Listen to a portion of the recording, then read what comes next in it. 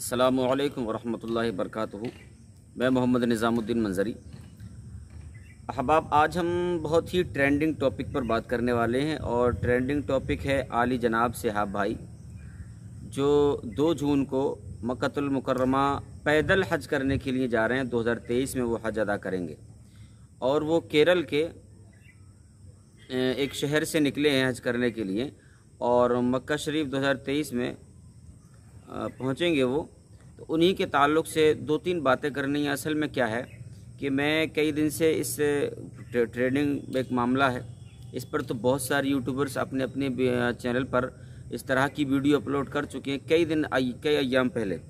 मगर चूँकि मैं इतना मौखर यूँ हूँ इसलिए हूँ कि मैं नहीं चाहता था कि मैं इस टॉपिक पर कोई वीडियो बनाऊँ। मगर मेरे कई सारे दोस्तों ने कई सारे मेरे चाहने वालों ने कई सारे मेरे आ, जो मुझसे मुतल हैं उन लोगों ने इस ताल्लुक से पूछा, हज़रत, ये बड़ा मामला बहुत ट्रेंडिंग में है और बहुत ज़्यादा लोग उसको देख रहे हैं और जनाब साहब साहब जो केरल से निकले हैं हज करने के लिए, ये जहाँ भी जाते हैं वहाँ पर एक हजूम इनका स्वागत करता है और एक बहुत भारी भारी भड़कम भीड़ इनको देखने के लिए, इनसे मिलने के लिए आ जाती है। तो यहाँ दो बातें मुझसे लोगों ने कई बार मालूम की कि हज़रत, एक बात बताइए, ये जो हज के लिए जा रहे हैं आखिर इनके हज जाने की वजह क्या? पहली बात, जो मैं सबसे आखिर में आपको बताऊँगा। सबसे पहली वजह कि आखिर ऐसी वजह क्या रही कि इनके हज जाने की वजह क्या है कि पैदल ही क्यों जा रहे हैं? जब सारे इंतज़ाम हैं, सवारी का इंतज़ाम है फ़्लाइट का इंतज़ाम है है ना? और इसके अलावा बहुत सारे इंतज़ाम हैं तो फिर पैदल ही जाने की वजह क्या है? है ना? तो ये एक टॉपिक था। मैंने इस मामले को जानने के लिए बहुत ज़्यादा छानबीन की है और बहुत तह तक मैंने पहुँचने की कोशिश की कि आखिर उन्होंने पैदल जाने का इरादा करा, किया ही क्यों? तो ये टॉपिक बड़ा मामला और बहुत मेहनत और मशक्क़त की है मैंने इस चीज़ को छानने में। आप सबसे गुजारिश करूँगा कि बने रहें और आखिर तक बने रहें। बर करम, आखिर तक बने रहें और मैं लास्ट में इस चीज़ को एक्सप्लेन करूँगा कि आखिर इनके जाने की वजह क्या बनी कि पैदल ही इन्होंने हज को चुना। आइए दूसरी बात जो है किसी ने पूछा था कि हज़रत ये बताइए, क्या पैदल हज कर सकते हैं? अब ज़ाहिर सी बात है, इतना सारा मामला है और सारी चीज़ें होने के बावजूद कोई बंदा पैदल जाता है तो मसला बनता है, क्या पैदल हज कर सकते हैं? शरीयत में इसकी कहाँ तक इजाज़त है? दो बातें। तीसरी बात किसी ने मालूम की थी कि हज़रत, एक बात काम और कीजिए, हालाँकि हम भी सोशल मीडिया पर हैं और हम भी सोशल मीडिया पर बने हुए नज़र रखे हुए हैं और आए दिन रोज़ाना वीडियो आती रहती हैं अब हमें ये पता नहीं चल रहा है कि उनकी वीडियो कौन सी कहाँ की है और अब कहाँ पहुँच रहे हैं और इस वक्त वो कहाँ पर हैं। तो देखिए, मैंने इस बारे में भी कुछ तहकीक की कि मैंने थोड़ा सा पता लगाया कि आखिर इस वक्त आज की जो तारीख़ है तेईस तारीख़ तो आज की तारीख़ में मैंने पता लगाया कि आज की तारीख़ में उनका कहाँ पहुँचे हैं वो। और इस वक्त उनका पड़ाव या उस वक्त उनका सफ़र कौन से इलाके, कौन से महल और कौन से शहर या कौन से सूबे में है। तो ये तीन बातें हमें आपके सामने करनी है। आप सबसे गुजारिश है कि हमारे चैनल पर बने रहिए। हमारे यूट्यूब चैनल हमें रजवी नेटवर्क को ज़रूर सब्सक्राइब कर लीजिएगा। तो आइए सबसे पहली बात मैं ये बताता हूँ, क्या पैदल हज किया जा सकता है? तो देखिए, इस ताल्लुक से अल्लाह के रसूल सल्लल्लाहु अलैहि वसल्लम की हदीस तय्यबा है, तिरमिज़ी शरीफ की हदीस पाक है कि एक साहब ने कहा था, या रसूल सलाम मैंने पैदल हज जाने की नज़र मानी है तो क्या मैं पैदल जा सकता हूँ? तो अल्लाह के रसूल ने फरमाया था कि देखिए, आपके पैदल जाएँ या पैदल ना जाए, अल्लाह ताला को आपके पैदल जाने से कोई गरज नहीं है। अपने आप को मशक्क़त में डालना, अपने आप को परेशानी में डालना, ये गोया कि एक तरह से देख कहा जा सकता है कि अल्लाह ताला की नेमतों का इनकार है। बहर कैफ, हदीस पाक में तो साफ़ तौर पर मना है कि पैदल हज को नहीं जा, नहीं जाया जा सकता, जैसे कि हदीस ज़ाहिर होता है। ठीक है? मगर चूँकि यहाँ पर थोड़ा सा मामला है, और उसकी वजह है कि क्यों आखिर उन्होंने पैदल का रास्ता क्यों चुना, चूँकि ये हदीस हुजूर पर भी ये ये हदीस पाक जो हुजूर की है, ये इन जनाब साहब साहब पर भी वारद होती है कि आखिर इन्होंने पैदल ही का रास्ता क्यों चुना, इसकी वजह क्या थी? अगर इन्होंने रियाकारी दिखावे के लिए रास्ता चुना है, और ये तरीक़ा चुना है तो फिर ऐसी सूरत में इनका ये सफ़र करना बिल्कुल रायगा है, बेकार है, और ये सिर्फ़ और सिर्फ़ एक रियाकारी होगा।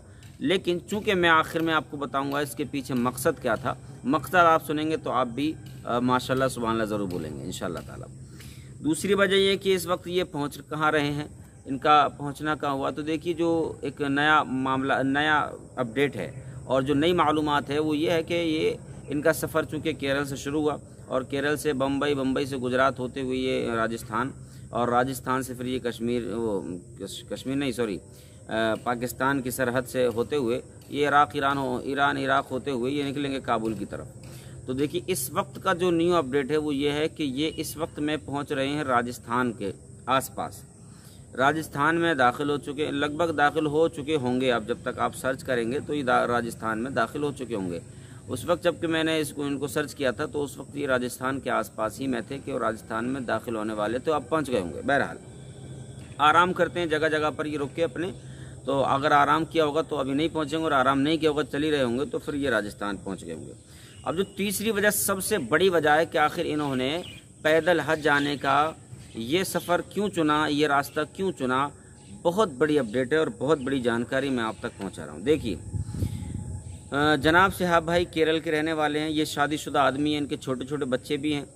है ना? और एक घर का बैकग्राउंड भी है। ज़ाहिर सी बात है कि आदमी जवान हो और यूँ चला जाए साल भर के लिए और फिर उनके घर में खाने, पीने का इंतज़ाम कौन करेगा?